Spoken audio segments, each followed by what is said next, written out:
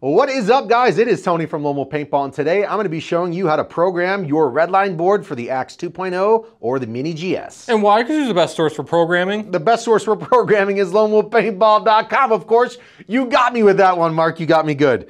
Okay, so let's dive right on into programming this bad boy. Alrighty guys, first things first, obviously we're going to turn this bad boy on, press the button on. You're gonna get your redline board engaged there. Obviously, we sell a lot of these to customers that we install before we ship them out. So um, all you need to do is press that button, turn it on. If you guys wanna get this into programming mode, because most people wanna know, how do I get it into ramping and all that good stuff? So your gun is on. Um, real quick before I jump on into that, if you wanna turn your eyes off, take the little joy switch, press upwards, and then you'll be able to turn your eyes off. You'll see it say off, and then you'll be able to dry fire the marker if you wanna do that. Next thing, I'm going to press the button back in all the way and hold, and then you'll see, do you want to turn off? No, I don't. Let's scroll up on the joystick. It says exit or system, or how about CNFG or configuration mode. Press the joystick button once, and now you are in configuration mode. You can scroll up or down depending on what you're looking to change. Let's go up. You have a back button, will put you back to the previous screen.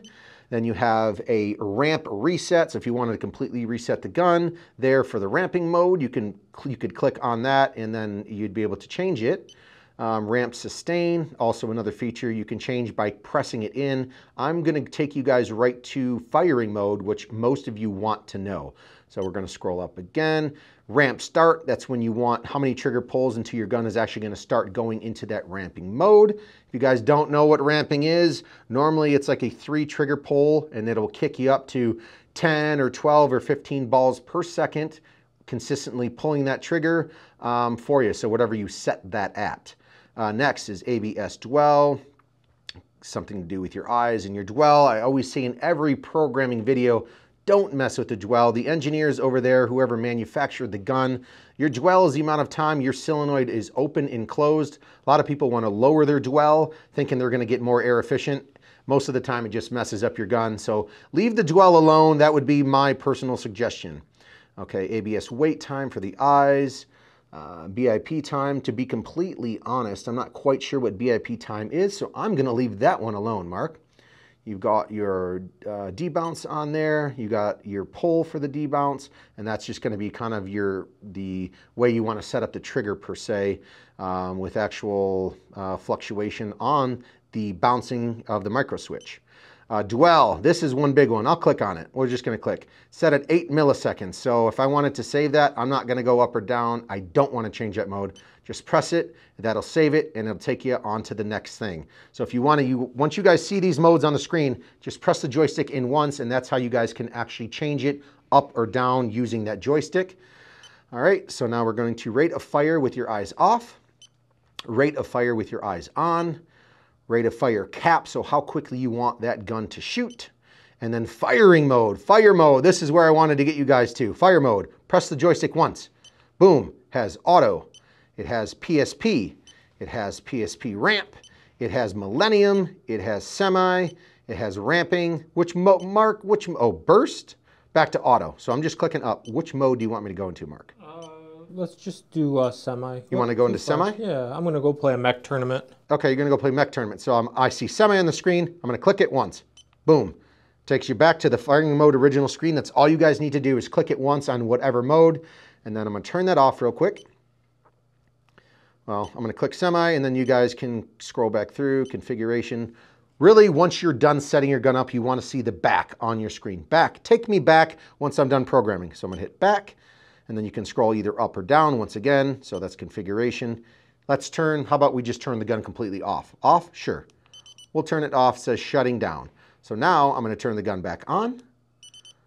I'm going to turn my eyes off. I showed you in the beginning how to do that. Uh, take that joystick and press it upwards and you will see it says off on there. So now Mark wanted semi-auto. So if I click this trigger, it should only be going one at a time. And even in there, Mark, can you see that on the screen? It says semi up top? Yes. So you saved it, it's in semi. One more time, I'm gonna turn this thing to ramping and then we're gonna end this video. So I'm gonna go here, I'm gonna go up back to configuration mode, boom. Click configuration and we'll go down this time. Actually, we'll go keep it at one. Go, I don't want to go back. I want to go back to my firing mode. So I'm clicking up, up, up. Go back to firing mode. There it is, fire mode. Now I want to, I'm in semi right now. I want to take it to, you want to go ramping, Mark? Yes, sir. Sure, we'll click ramp. One and done. And we'll scroll up, take me back, click the joystick again. Boom. And we will go, so let's just say exit. We don't even have to turn the gun all the way off. Now up top, you can see RMP means it's in ramping. Let's turn the eyes off by pressing the joystick up, off, and it should be in ramping. The manual has uh, what the rate of fires for each of the firing settings are, correct? Exactly. So yeah, this little, this paper manual right there, Mark, that comes with it, it's right on your screen, the red line. Read through that if you guys want to know the the complete nitty gritty of this bad boy.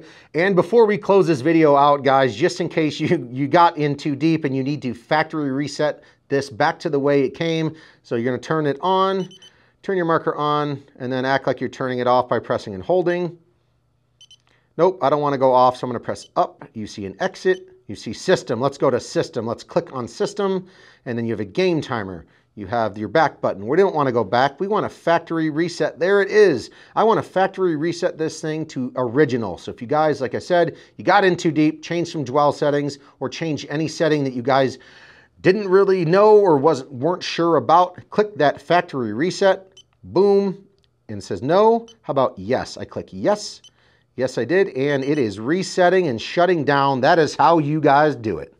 All right, guys, yep, that was a quick video on how to actually program your Redline board once again for the Axe or the Empire Mini GS. We have a full installation video as well, so go check that out. And don't forget, buy from the best source for paintball. That would be lonewolfpaintball.com. See ya.